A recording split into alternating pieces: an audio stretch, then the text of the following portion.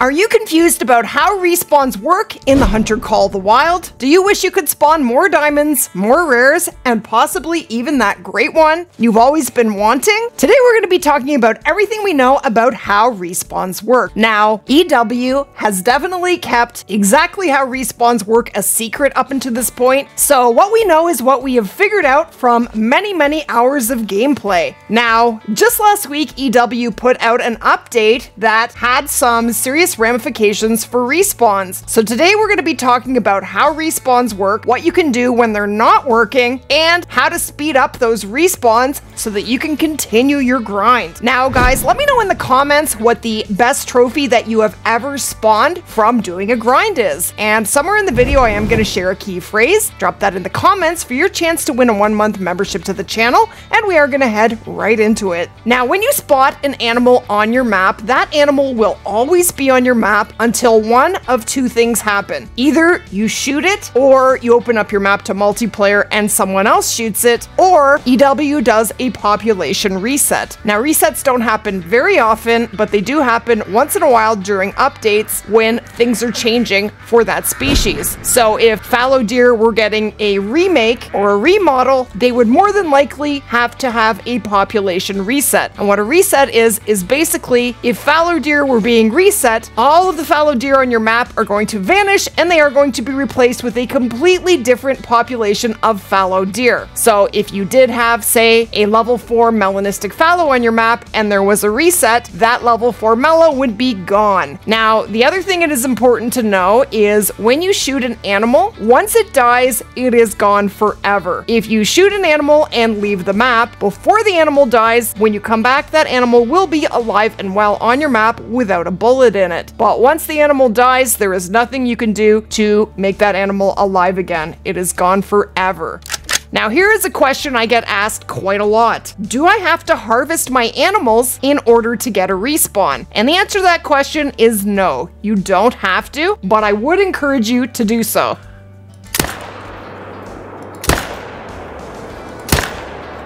Lay down, dude. Thank you. Thought we should take a couple fallow down.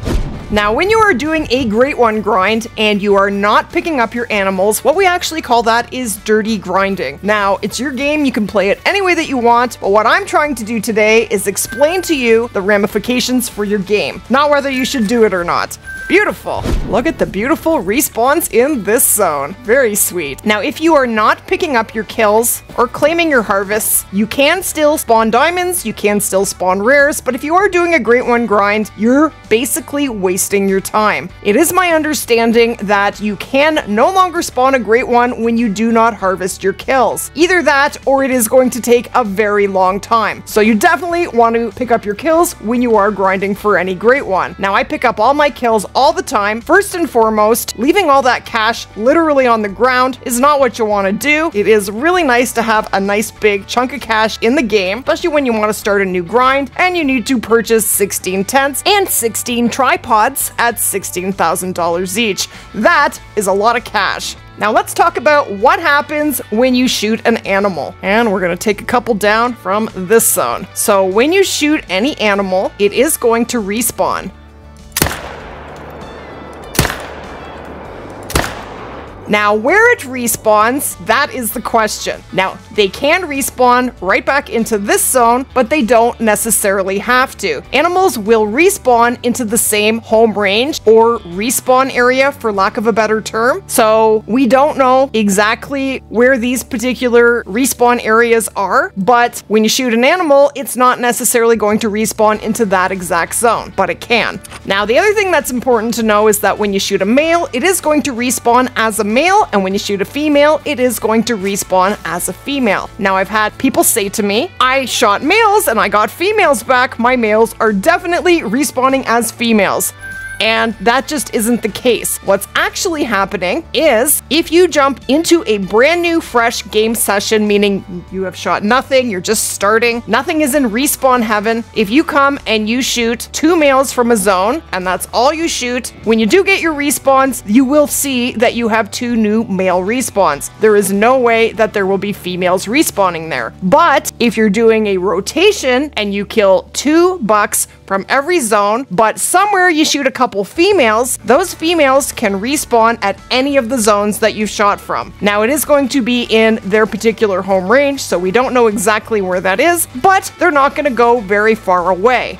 So recently I have been doing a whole lot of tahr grinding. Just a couple days ago, I spawned my first and my second Great One tahr. They actually spawned 29 kills apart. Now, did I do something to cause that to happen? Absolutely not. That was just plain RNG and me getting very lucky after having a very long and not so lucky grind. But referring back to the point I was making, this zone right here, this one right here, is one of my favorite tahr feed zones. This zone has been there since I started grinding about 3,500 kills ago, and I think they're actually in there. I have always had two males and two or three females in this zone. Now, over time, I came into this zone and I found six females. Now, I wasn't very happy to see that because this is definitely a zone I want to continue grinding. So, you know what I did? I kind of did this as an experiment. I wasn't sure what would happen, but I decided to shoot out three of the females. And you know what happened when I came back? I had two males and four females in this zone. Did the females respawn as males? They definitely did not. I didn't just come into the game, shoot the females out of this zone, and then leave. I did it during a rotation when I was shooting several other males. So what would have happened is the males that respawned into this zone are the respawns from another zone that I had shot two males out of, and those females that I shot would have then respawned into one of my other zones. So if you do have a zone that is all females, but in a really good spot that you'd like to use in your grind. While you're doing a rotation, shoot some of those females, you might just get males back in their place. So basically, it just opens a spot for a male to spawn into. So basically, that is how that works. Now, there definitely is still a lot of mystery about exactly how respawns work. EW does keep it a secret, and I think that is a good thing. We definitely don't want to know everything about this game. A little bit of mystery is what keeps it interesting, right? Now let's talk about need zones. Now, every animal on the map belongs to certain need zones. Not every species drinks, but every species in the game feeds and rests. Pretty sure all the ducks do too. I think so. Most of them do, but I'm pretty sure they all do. But they don't all drink, but the majority drink. So when you find an animal in a need zone, so for example, this tahr zone right here, in a moment we will go and we will check the need zone indicator, and that will tell us how many animals belong to that particular need zone, and whether or not you have solos. And we are going to talk about solo zones as well. So basically, when you have animals attached to a need zone, the time frame for that need zone, so for this tahr zone, is from 4 to 7. Now that doesn't mean the tahr will show up exactly at 4, but they will show up at some time between 4 and 7, and they will usually stay there until 7, at which time they will leave and go to their next zone. Sometimes they leave 10 or 15 minutes early, and that actually has been happening more recently. So once you do find an animal's need zone, then you know where you can locate that animal if you are not shooting it immediately. Now, in order to protect your need zones, this is important to know. You can only kill three animals from any need zone, and the fourth kill will delete the zone, unless you are shooting from any hunting structure. And I mean any hunting structure, including the ones that come on the map, uh, tripods, duck blinds, tree stands, all of them will protect your need zones. So when you are shooting from any hunting structure, you can then kill 15 animals, and then the 16th kill will delete the need zone. And what happens to that zone is it appears somewhere else on the map, and we just don't know where. Usually it is fairly close by, but not necessarily. And to find those animals that were in that need zone, you would then have to go and re-find the zone. And that is very time consuming and a giant pain in the neck. So when you do a grind, I do recommend shooting from any hunting structure. It's almost impossible to delete a zone when you are hunting from a structure. Now, another thing that's really important to know is when you are shooting animals in a need zone, you never want to shoot that zone down to one animal because if you do, it will never get respawns again. Essentially, it breaks the zone. So when I am coming to a zone, I always count how many animals are in the zone. Even if I had five tahr in this zone last rotation, that does not mean I'm going to have five here this rotation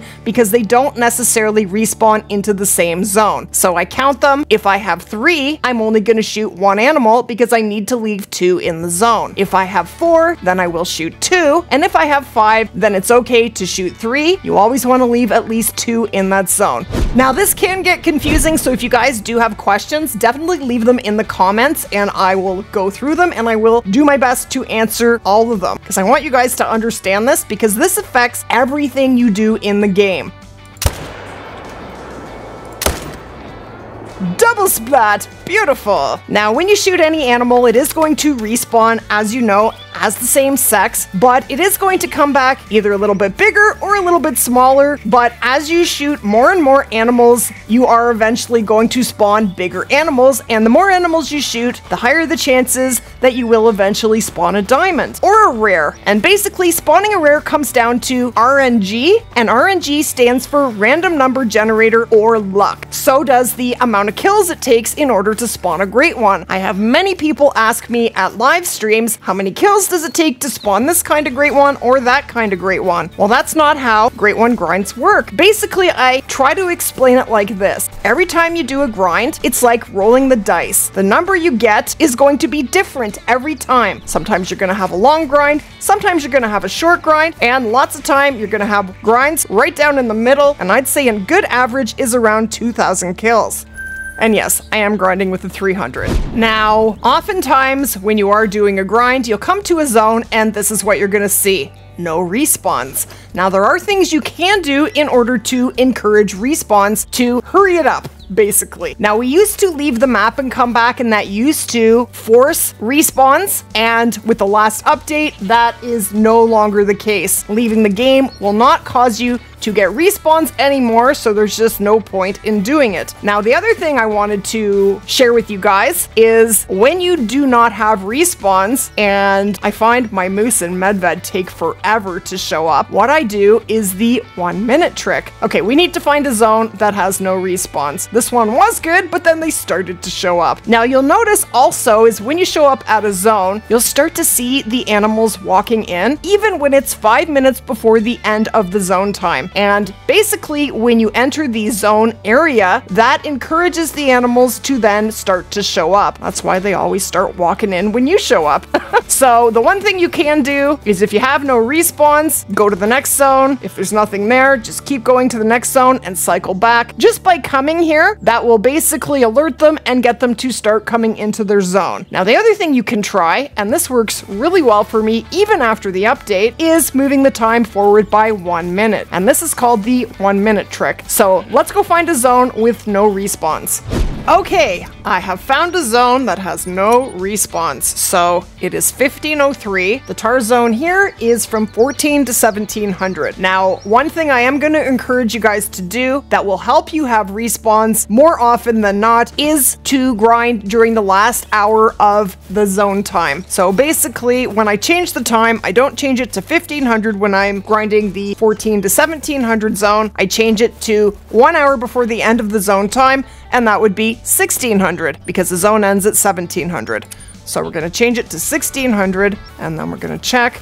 They're still not there, so let's try the one minute trick. Now, it can be expensive, but hey man, I want my respawns.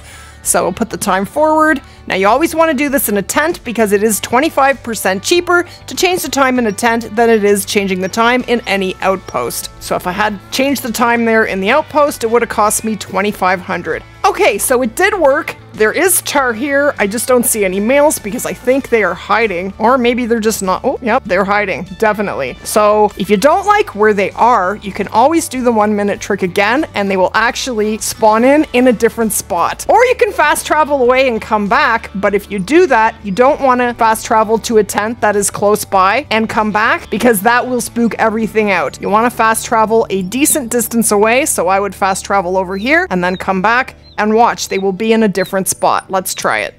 Oh, and that actually spooked them. Really? Well, that's very picky. it did spook all of them. It did spook one. I don't know why. Unless I have a snow leopard in there. That's very strange. Okay, they're still there. Let's put the time forward by a minute and see if they've changed spots. And now they're gone. And that can happen too if you do have respawns there and then you change the time forward. You may end up with nothing there. In which case, you're going to have to do it again or just go to another zone and come back later. But basically, you're going to get a different result each time that you change the time forward. And that is what we call the one minute trick. And they're back. And now we have a male here. Okay. After spending all that money, I'm going to shoot him.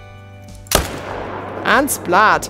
And now we're gonna watch for any males that are running by, but I don't see any. Okay. Now, when you are doing a grind, I would encourage you to shoot mid levels and above if you are wanting to spawn diamonds sooner than later. Shooting really small animals does not help in spawning great trophies. It just doesn't. If you shoot something small or you shoot lots of small animals, there's a good chance you could get a very small respawn and you could get a rare fur on that small respawn. Wouldn't you rather have a nice big rare? I definitely would. So this is a need zone indicator. When you pick it up, it will tell you how many animals are in the zone and the zone time. So there are five tahr attached to this zone. Now sometimes when you're just setting up on a zone, you want to check all of the need zone indicators because you could have different ones. You could have two different herds sharing a zone and you could also have solos. So basically I could have one of these zones saying five and this one could say one. What that would mean is if I shoot the animal attached to the need zone indicator for one animal, I'm never gonna get a respawn. Well, I will, just not in this zone. Anytime you shoot something in a solo zone, that will delete the zone and it will show up somewhere else on the map. Now, all predators have solo zones, so every time you shoot a predator, like the black bears or lions or tigers, that zone is going to delete and it is going to show up somewhere else on the map. That's just how solo zones work. Now, if you want to take care of solo zones during a Great One grind, basically what I would recommend doing doing is on a fresh game startup, meaning you have not shot anything yet. You're just joining the game. That's a fresh game startup. You want to go and you want to shoot your solo. Now, if you're doing a grind, I would recommend not worrying about any solos unless they are at least a mid level or higher.